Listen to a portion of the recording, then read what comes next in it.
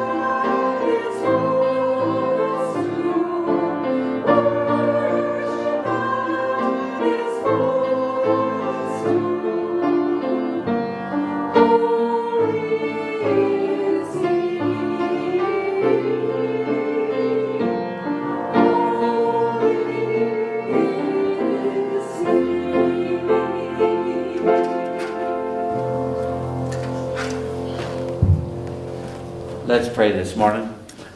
Heavenly Father, we, as we come into your house today, uh, Lord, we just acknowledge that you are King of Kings and Lord of Lords, and and Lord, that you you should be exalted above all else.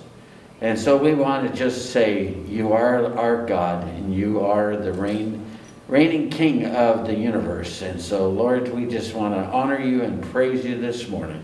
And so, Lord, our world is in such chaos right at the moment. Lord, we just really need your spirit overflowing, not only in this church, but in all churches, in all your family, Father, that your love would be shown uh, in all circumstances to all people. And so, Lord, we just uh, come before you and ask you to just to teach us what you want us to know.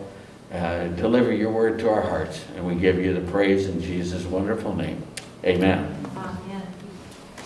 Let's sing As the Deer.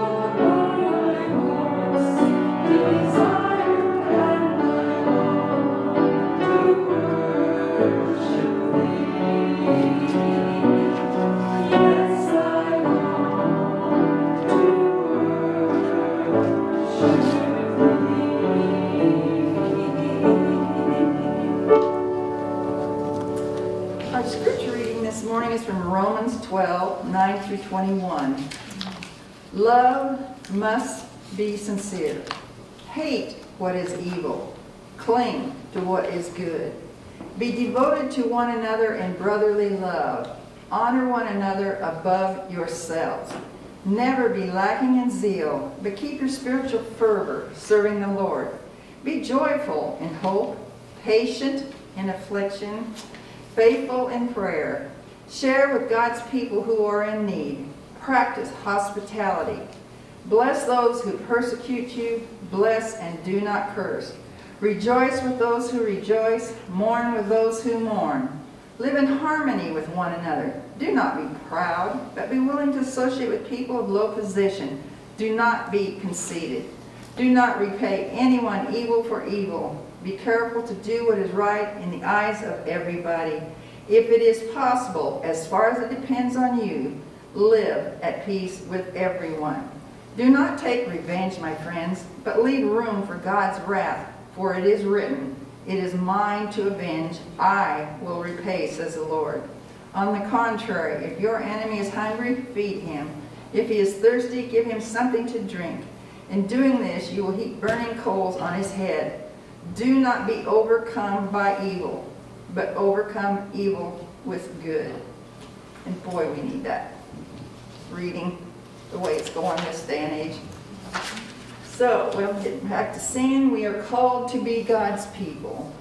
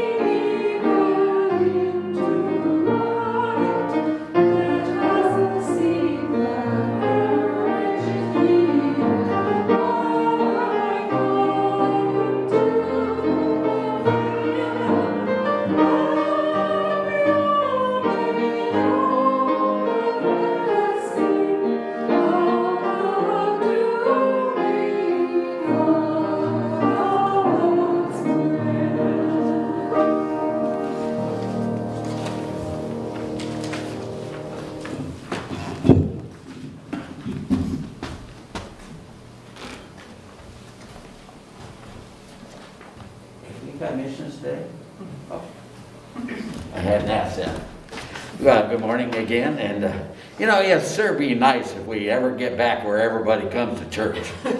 I mean, I- I'm really grateful for the, for the few of you that actually will challenge out, and I, I- as much as we can, we try to make sure that we stay safe, but still, we miss so many people that aren't here this morning. And I'd be so glad when that changes. Uh, let's see, um, today is Mission Sunday, uh, and, uh, the vinyl fencing did arrive this last week. It is here, and, uh, and we've been in the process of tearing down our old fence. Uh, and, uh, hopefully we'll start a process of putting up the new fence here. Hopefully we'll get it all done. Um, I got my tractor up here, we got a bunch of posts to pull out, and, and then if we get enough bodies to kind of help try to put up the fence, we'll see if we can get it done. Uh, let's see, uh, we're supposed to be praying for our nation with 30 days of prayer. Uh, and you got some information on that. Um, also, uh, Tuesday, this coming Tuesday is our, is the second Tuesday of the month, and so it's a board meeting. Uh, I got a surprise last Thursday because I got a guy called up and he said, "Uh, Carl, I want, want to know when you want to have your, uh, can I come to your meeting tonight? And it was for Thursday, for our American Legion meeting. And I said, well, we meet on the second Thursday. And he said, this is the second Thursday. And I went, uh, yeah, when, when the first falls in the middle of the week like that, it throws us off sometimes. But, uh, so the second Thursday happened to come before the second Tuesday. It's just the way it works out. Uh, but uh, anyway, uh, uh, I'm gonna I'm gonna allow uh, Terry to talk about missions, but just as a reminder, four o'clock Tuesday afternoon here at the church is board meeting, and also. There is some refreshments over here. We not, we used to do hugs and howdies and we're not doing that now. There is some water and some juice and some cookies. And so anytime during the soul service, if you feel that you'd like something, just take your time and go over and grab something, bring it back, sit down. That way it won't be a conglomeration of people. So just anytime you feel like it during the service, don't hesitate. Go get yourself something to munch on or get yourself something to drink. And with that, I'm going to turn it over to Terry for her missions. Good morning, everyone. In my reading this past week, John 16:33 came to my attention. With our world full of conflict, sickness, and stress, God's word is comforting. John 16:33. These things I have spoken to you, that in me you might have peace. In the world you shall have tribulation, but be of good cheer. I have overcome the world. God has a plan, and when we feel low or discouraged, we need to stand firm and trust in Him. Praise God. October missions this month is Mission Priority One. Nazarene Missions International has four objectives of Priority One. Number one is prayer for missions. Number two, learning about missions. Number three, challenging children and the youth to be involved in missions. And four is giving to missions. The objective of prayer is to encourage people to pray for all efforts of the world, evangelism. Mission priority requirements are that the church will pray for missions. As most of you know, our church has prayer requests in our bulletin every week a prayer request box in the foyer, and a prayer chain for things that come up during the week that need prayer. Learning about missions, global awareness, to inform people of the world's needs and what the church is doing to meet those needs. The Church of the Nazarene has a mission family appointed to us to pray for. Our mission family is the Mason family. They're in, they're serving in a hospital in Papua New Guinea, and his specialty is healing club feet of children. So if you would please pray for our missionary family, the Masons, they would really appreciate it. Um, you can people can write letters to them or send money or just to meet their needs.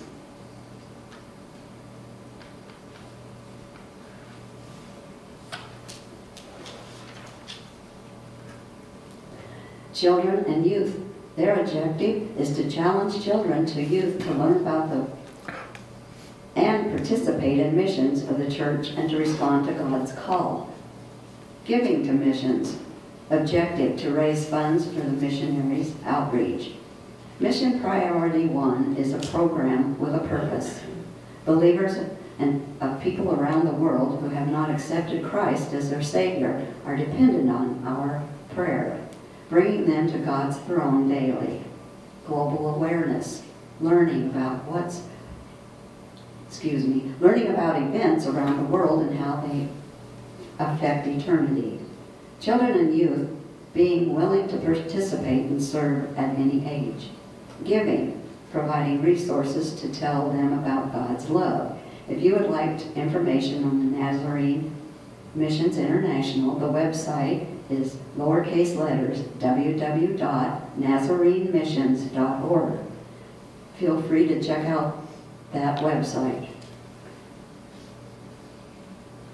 If God has spoken to your heart, please donate to Mission Priority One. You may place it in an envelope and write Missions Priority One on it. Updating our Operation Christmas Child, I see Marlene has all the boxes made, and we have stuff downstairs, but we still need some items. And bring my notebook up here, but, um, there are different items that we need, so if you could get with me, I'll let you know what those are, or read on your paper that Marlene made, there's some of those. I know we don't need toothbrushes or soap or brush rags or things like that, so, but anything else, children's toys, uh, like stuffed animals, or, um, we could use some more balls and different things, so feel free to do that. If you can't um, donate something, or if you'd like to donate money, just see Tony or I, and we will um, shop for you. So with that, thank you, and have a wonderful day. Go ahead. Uh, Before we get started, I noticed today is Clergy Appreciation Day, and I thought, in the day we're living, we want Carl to know we appreciate him.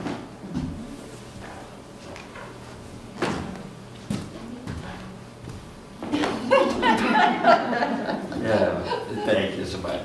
Uh, You know, it's, it's been 20 years. Uh, I don't know if it'll be another 20 years, but uh, uh, it- we're going to continue on, and, and I appreciate everybody. Yeah, those boxes, there's a hundred of them over there, I think, uh, that we filled up the last two years. And so this year's been kind of a tough year, and we haven't all been here. Uh, And so uh, if you can contribute that, anything you can, and it, is it still gonna be like seven dollars a box for shipping? No, it's nine. Nine dollars a box. There's nine hundred dollars just to ship them. And, and, and that's for us to come up with that money as long, as well as filling the boxes. So we got until about the middle of November, so we only got another month to go. Uh, so, uh, whatever you can do would be greatly appreciated. And with that, we're gonna take our morning offering, and I'm gonna ask John to come up, and, uh, as, as we get prepared for that, if you're a guest, uh, we're not trying to get into your pocketbook. Uh, If you're a guest, we just are glad you're here and don't feel any compulsion. This is our way of supporting uh, our, our Lord's church here in Parkdale and around the world, so.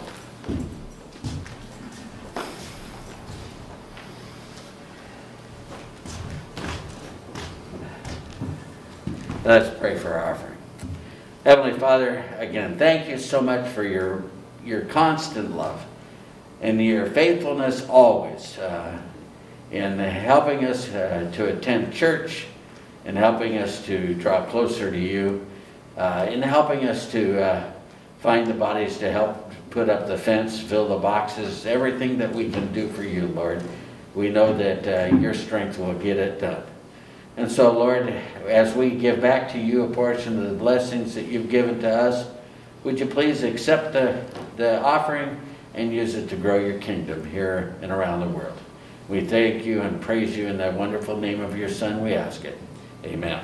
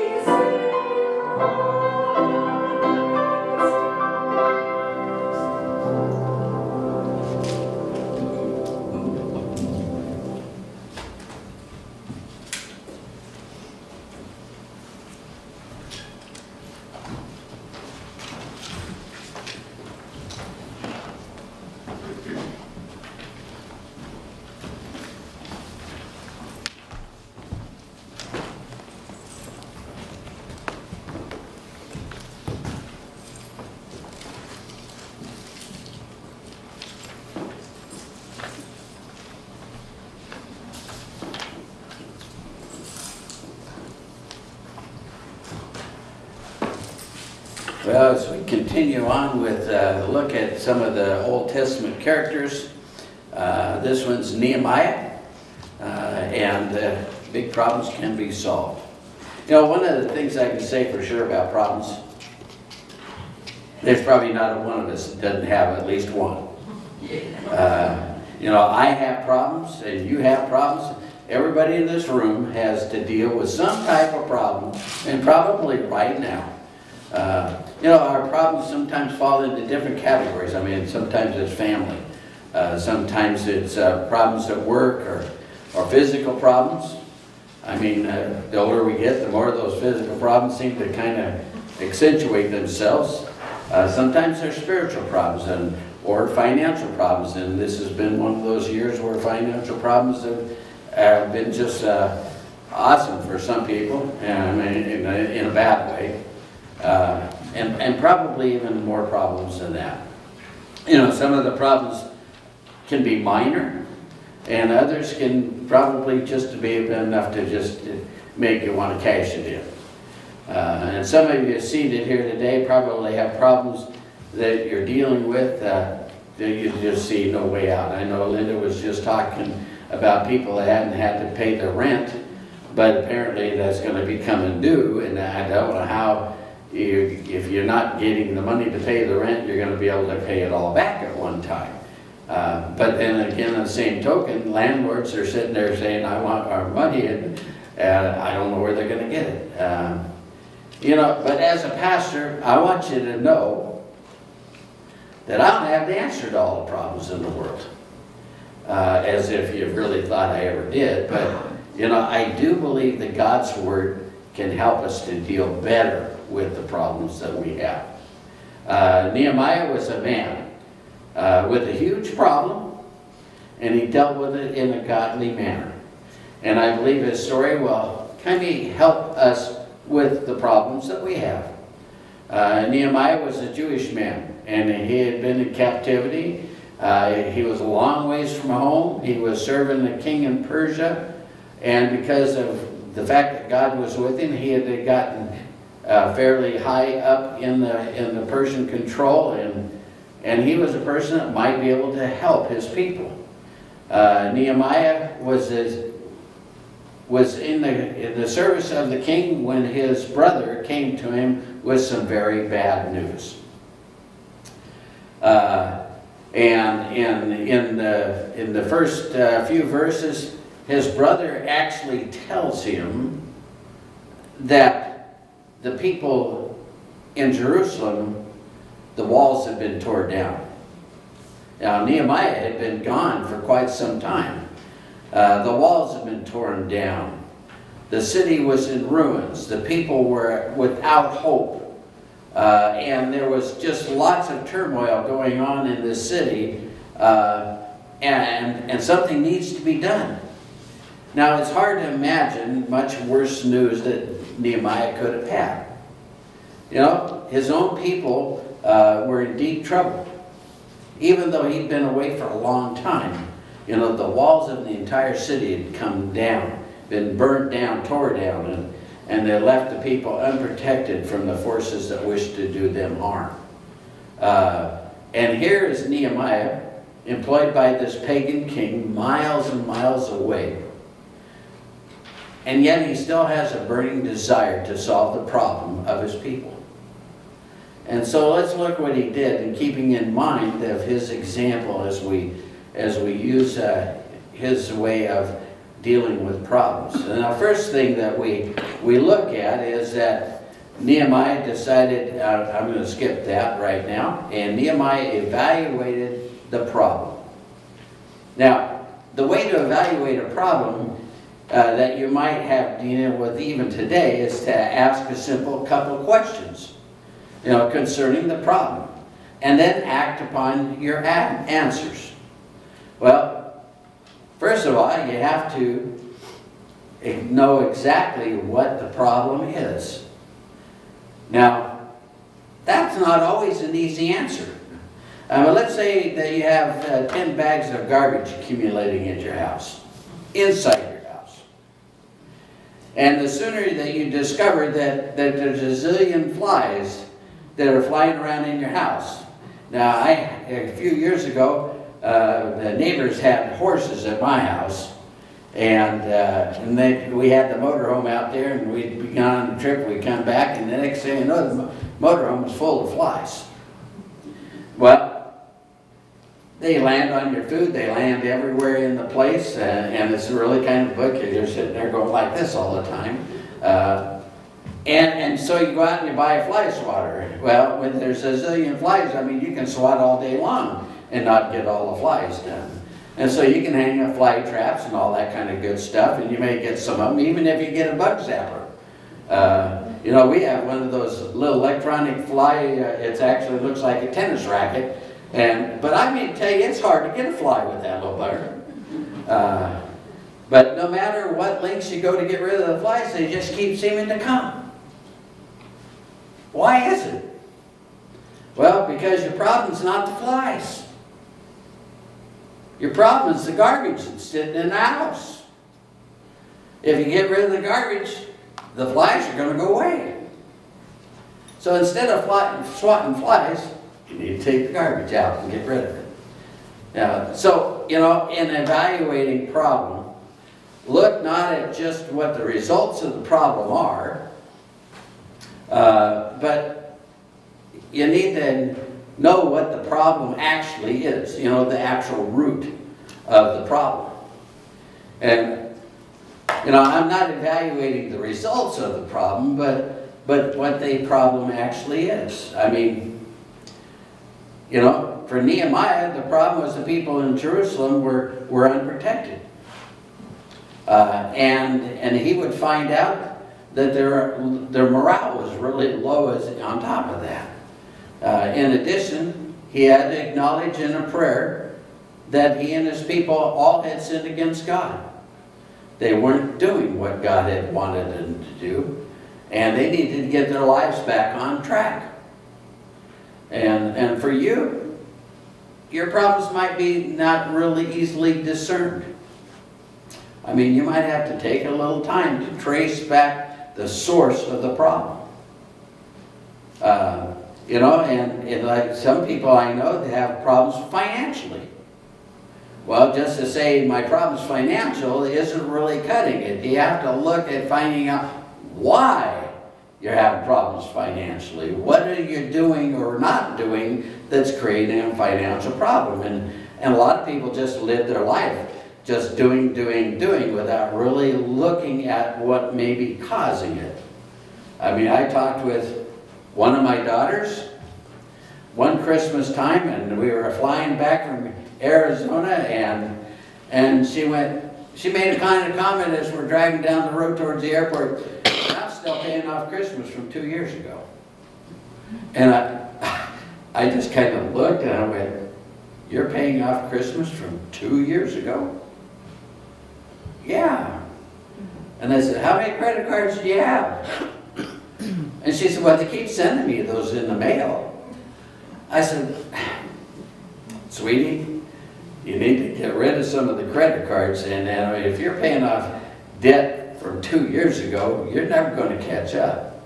Well, we got to the airport and there was tears and goodbyes and all that good stuff. And I thought, my daughter never really cried when we leave.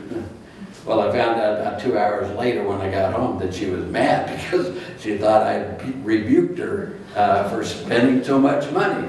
Uh, but what I'm trying to say is, you know, just the fact that we're having financial problems and we're broke doesn't mean that we're really on a major deal. We need to look at what has caused that problem in the first place.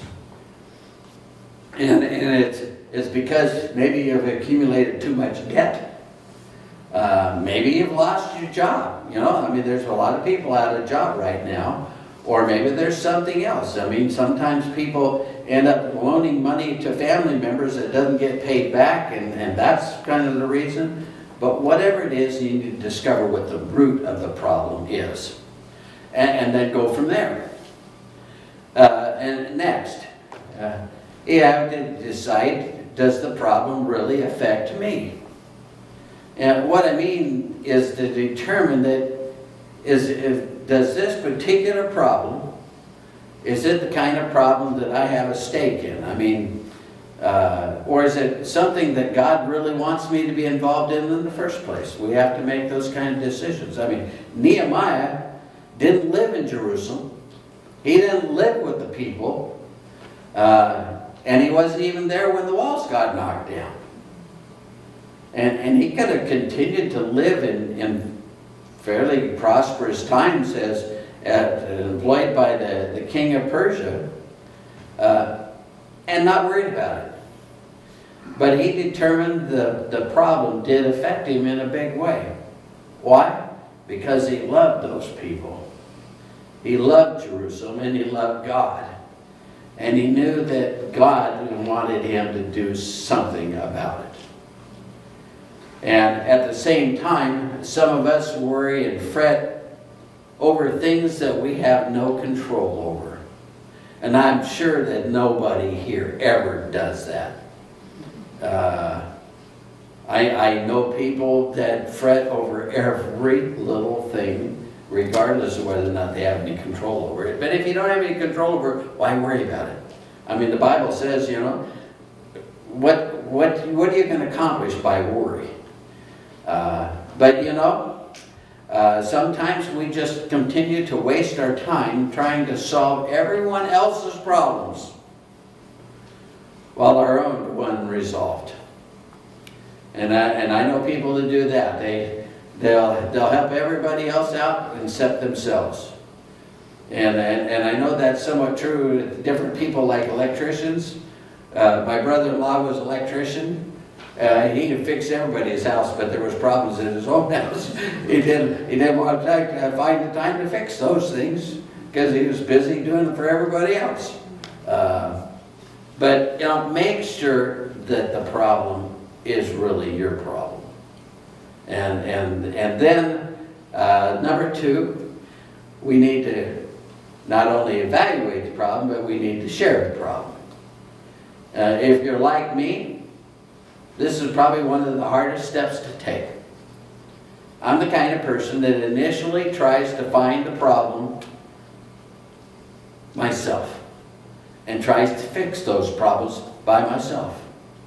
Uh, the problem with that is the longer I hold on to a problem, the worse the problem seems to get. And, and so, you know, I hope that you're ready to learn uh, with me that if we're going to solve our problems, we need to be able to share our problems with others.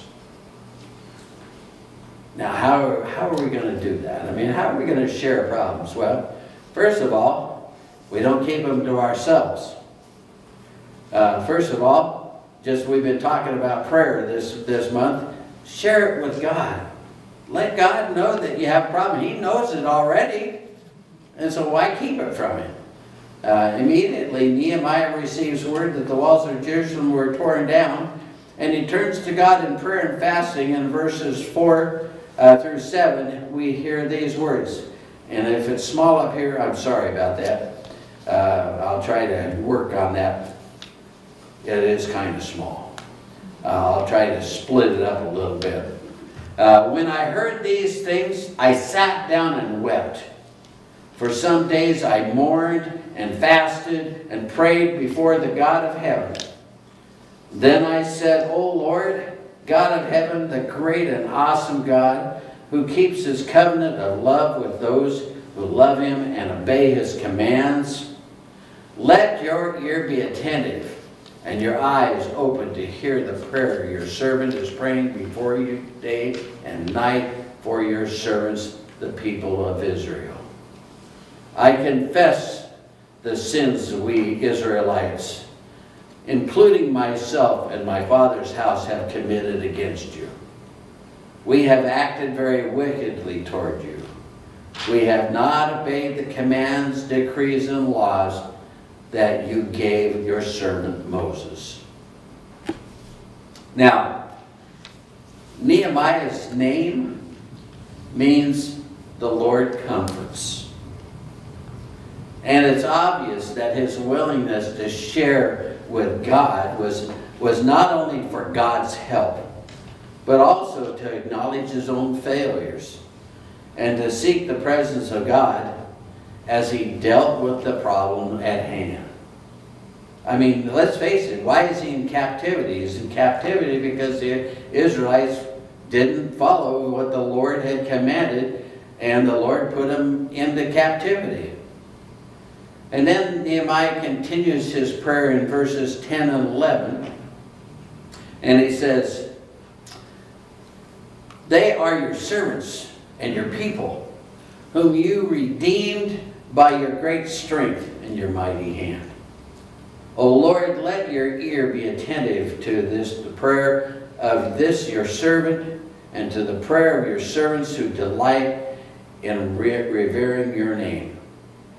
Give your servant success today by granting him favor in the presence of this man. I was cupbearer to the king. You know, no matter what problem that you're dealing with, the first person that you need to share your problem with is the Almighty God. Uh, Psalm 55 22 says, Cast your cares on the Lord, and he will sustain you. He will never let the righteous fall. God wants nothing more than to hear your voice telling him, Lord, I can't handle this by myself. I need your help.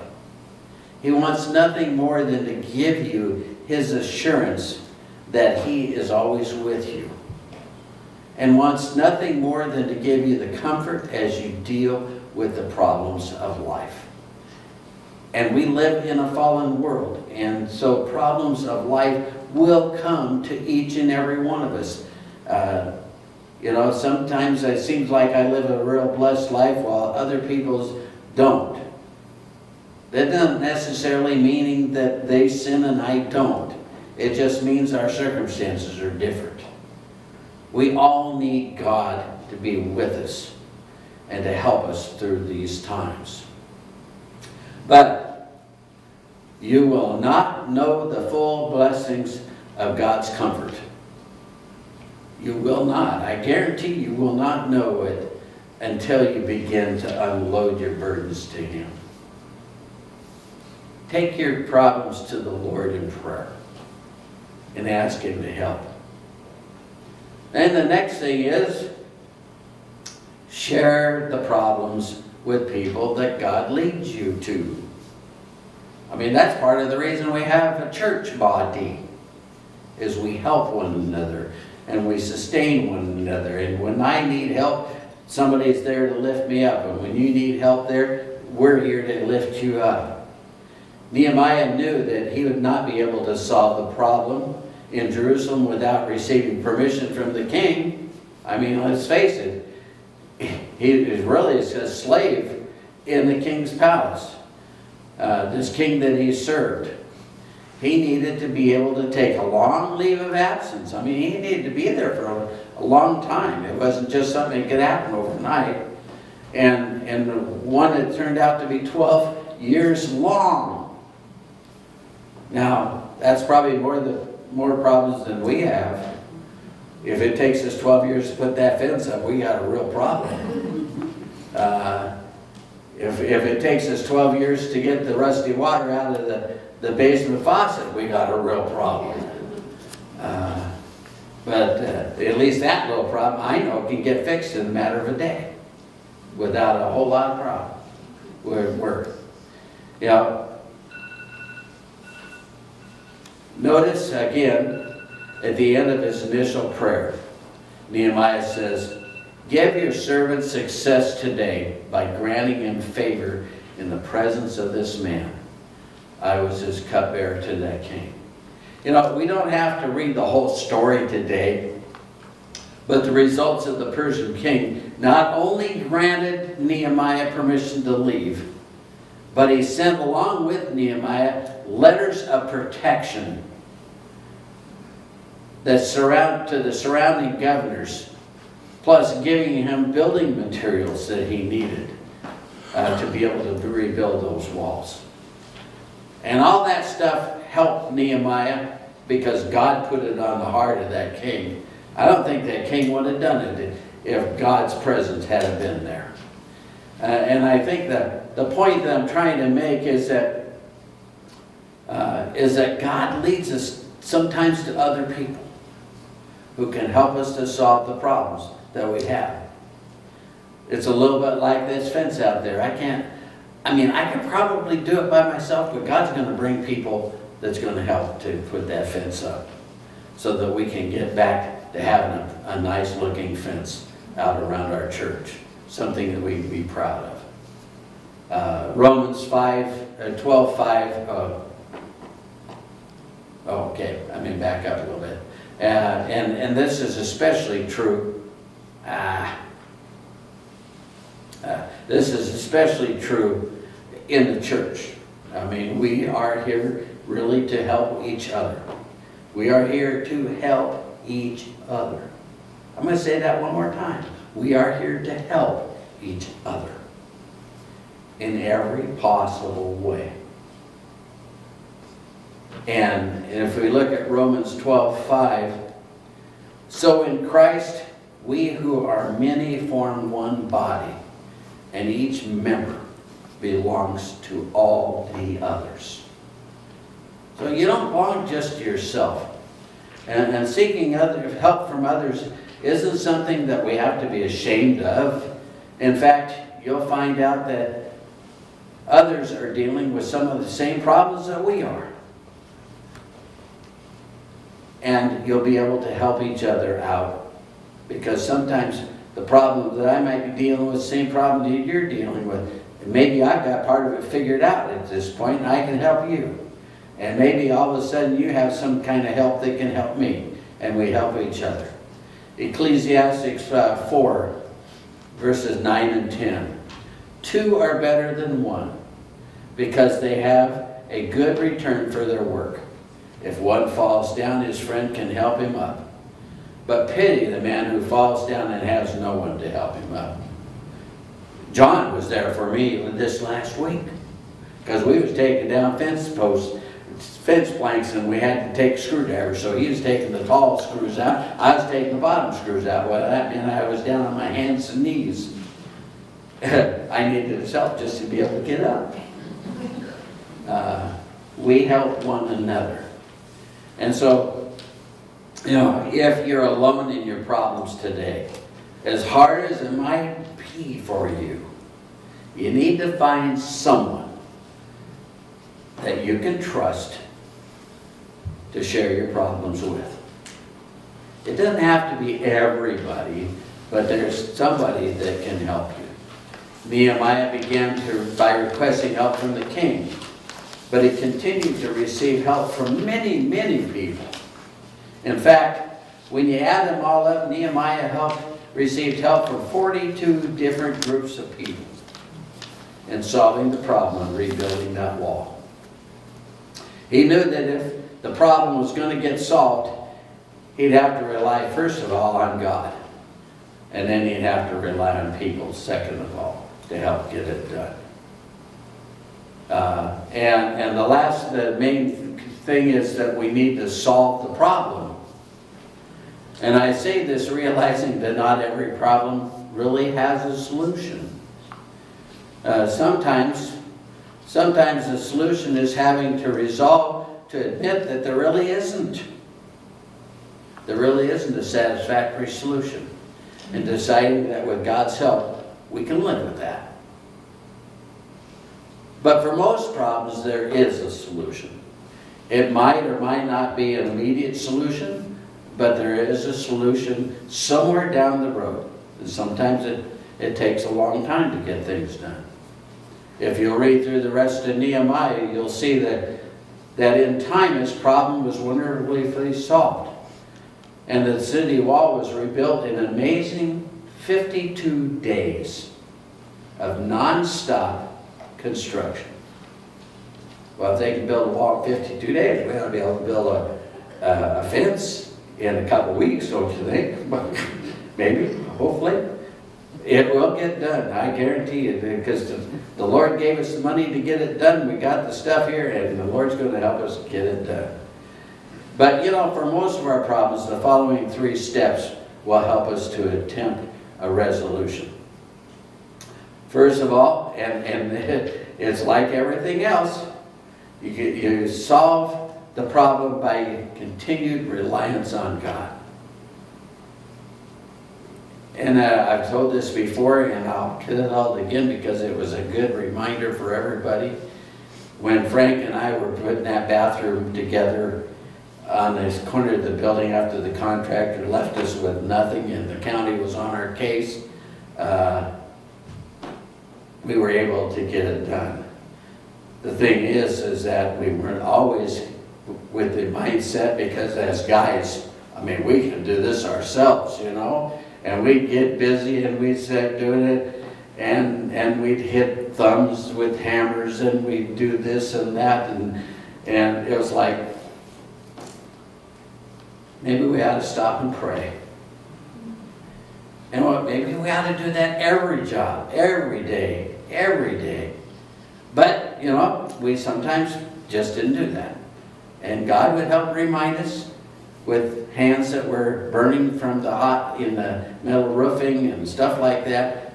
Take time to pray, and when and I guarantee you, the minute we did that, things started going better. And so always rely on the Lord. Uh, we really want to have God in the midst. We want to have God in the midst of it, no matter how long it takes. We need to have God there. You see, when some men were, came opposing Nehemiah's work on the wall, he said to them in Nehemiah 2.20, he said, I answered them by saying, the God of heaven will give us success. We are his servants and we'll start rebuilding. But as for you, you have no share in Jerusalem or any claim to historic right to it. You know, I've counted at least 14 times in the 13 chapters where he and his team explicitly rely on God in prayer. Two chapters of the book contain almost nothing but prayers to God. Nehemiah knew, as we all need to learn, that if we're going to resolve problems of life, God needs to be an integral part of that process. The world doesn't understand that outside the walls of this church, of churches. In general, they, they just go do it, get some friends to do it, but we know that God has to be involved. If we're going to have success in this life, in this country, God needs to be involved. He can also solve your problems by taking whatever steps are necessary. For Nehemiah, this including organizing a mass number of people to do particular things. It included arming the people against those that wanted to attack him. It involved bringing people back to a proper obedience and worship of God. I mean, with the fence out there, you can't just, we, we, we're not just going to go out there and start putting everything together. I mean, there's instructions on how to best put that together. We need to lay out a pattern. We need to figure out where the holes are going to be for all the posts. We got to have the materials. I mean, we got all the fencing materials, but we got to have concrete. Uh, we're going to probably have to have some utensils for digging the holes and, and filling in more. We may even need more dirt to fill in some of the holes that we have. You have to lay out steps in order to solve the problems, whatever those problems might be. And those were the steps that, that Nehemiah needed to take to solve his problem. Obviously, your problem is not the same as the one of Nehemiah. Uh, but you and I need to take necessary steps to solve the problems uh, that we face or, or the problem's not going to get solved. Consider uh, what Penn Racket Sports did. In, in the early uh, 2000, that they, they had tennis balls. And the sale of tennis balls was just kind of getting flat. And they needed to come up with something else. Uh, and so uh, Penn is now stamping tennis balls with the Purina dog food logo on it. Penn cut the price of the tennis balls from 80 cents to $2.50 a piece as a marketing them as a natural fetch toy for the dogs. Now it's a profitable way uh, to take steps to solve their problems. Uh, not only were people buying the toys, and, and I was just down at Anderson's uh, Tribute Center with Gene this week, and Jack has this little little dog, just the cutest little dog, and uh, and of course he he wants treats, and so he was on Gene's lap to get treats. Well, we were sitting there and we was talking, and all of a sudden I heard squeak, squeak, squeak, squeak, squeak, squeak, and he had this little rubber ball with a squeaker on it, and he was trying to get our attention because he wanted some treats. Uh, you know, I, we have to come up with ways of solving our problems. And let's say our, our problem is in a marriage. And, and I've identified that much of the problem stems from me not being the kind of husband that I need to be. And so what steps would I have to take? Well, number one, I'd have to be a good husband. And how do I become a good husband? Well, it starts by becoming that kind of husband, a kind of husband that God wants. Maybe I need to start reading some books on how to be a good husband. Maybe I need to start reading some scriptures that, that God talks about how to, how to be the kind of loving husband, to be a good counsel, to be a, uh, maybe I have a mentor friend that, that can help me uh, to learn how to take better steps to be a husband. Uh, too many of us, unfortunately, too many of us uh, know what the steps needed should be taken, but we refuse to take them. Sometimes we know that we're not doing the right things, but for whatever reason, we just, uh, I'm, I'm just not going to do it. And sometimes we blow our backs. I, I think that's a lot of times what happens in marriages that don't, don't make it. Is that usually it starts off with little things that build up to a, a big thing, and it's never really a big thing. If you'd done away with all the little things, you probably wouldn't have the big thing. And so at some point in time, they just bow their backs and say, I ain't going to do it no more. And uh, God wants, I want you to know that God wants to help us. He wants to help us to offer ourselves and He wants to be involved. He wants us getting involved in the process along with Him. We need to seek God and seek His help and then get involved in the process. If you're not going to take steps to, to, to solve your problems, your problems are never going to go away.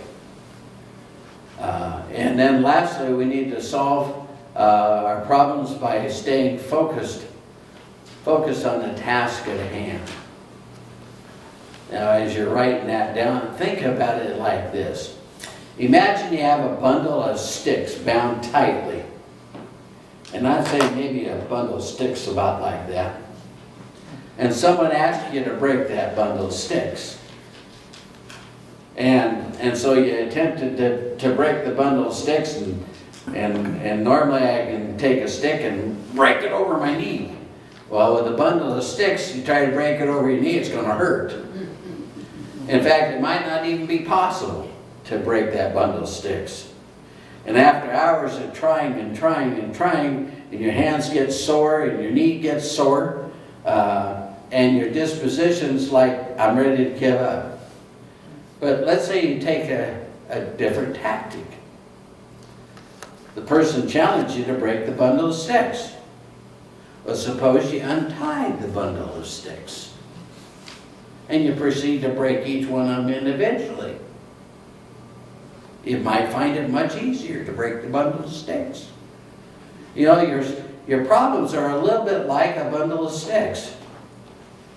If you try to fix everything at once, you may not end up fixing anything at all. You may actually undermine your chances of, of, of success and frustrating yourself in the process. Sometimes it's difficult to untie the bundle of sticks. But our problems seem to be interconnected that we can't see how to solve one without solving them all. If we just untie the bundle of sticks and figure out a way to break everything, we can take one step at a time and get the uh, problem solved. And with focus, solutions become easier. One solution leads to another. And so, after you break the first stick, you gain a little confidence. And then maybe you try two sticks. And then you get going until you got momentum going and you solve your problem one stick at a time. If Nehemiah teaches us anything, it's to have a streamlined view towards problem solving. Uh, first of all, we need, we need to, to realize and admit to ourselves that we can't fix the whole world's problems at once. let alone fixing every single problem that we have. We can't fix every single problem that we have all the time. Focus on the task at hand and continue to focus until the problem gets resolved. And so, as we conclude, just a couple of things I would just like to mention. No matter who you are, no matter how old you are, no matter how much money you have, no matter how young you are, you will face problems throughout life. That is just a fact of life. That's a fact that is true in every single one of us. How, how you deal with problems that will come will help determine the outcome of our entire lives. How you deal with the problems that come will help to determine the outcome of your whole life. In fact,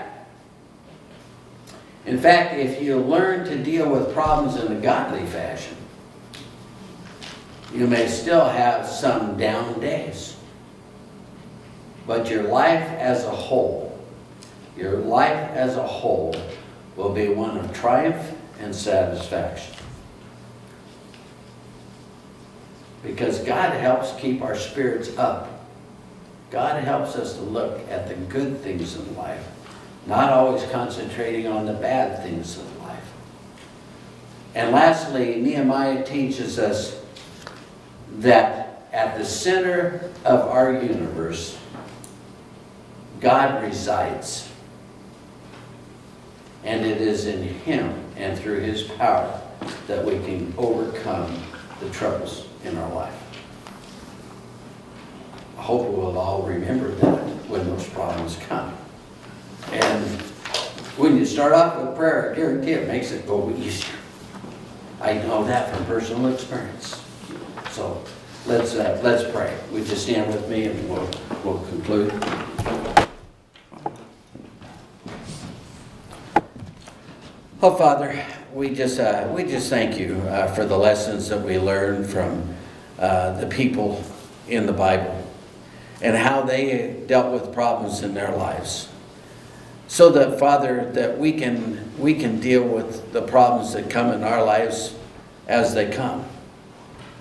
Sometimes we don't deal with things, we don't deal with things, and we don't deal with things, and all of a sudden, um, a molehill is now a mountain. Yet if we dealt with the molehills, we could get them all done and we never would have to have a mountain. And Lord, we need to look to you, first of all, in all things. Each and every day of our lives, look to you for strength to, to, to continue on, for strength uh, to do whatever is needed to do, knowing that one day we can spend eternity with you in paradise. And that alone should give us the incentive to, to continue on. But Father, as we uh, encounter problems within our lives and we look to you, I know that you will help bring people on board. You will direct people to us, whether it's an individual or a group of people or the church body that can help bring resolution to problems in our lives. And so, Lord, we just want to love you and say thank you for all that you do and all that you are. And we just ask that you're continued uh, walking with us each and every day as you help us to na- navigate uh, our lives. And as we navigate the walks of our lives, Lord, uh, having you at the helm will help us to walk a more fruitful, more enjoyable life. And so, Lord, we thank you, we praise you, and I just ask your blessings upon each and every person here. As we, as we leave the church, Lord, uh, let your blessings be with each person and help us, Father, uh, to share that blessing with others. And we give you all the praise and glory in Jesus' precious name. And, and the whole church said, Amen. Amen. Have a great, godly day. We will see you next week. And. Uh, and hopefully maybe we'll see some progress on the fence as well. Turn that off now. Turn it off.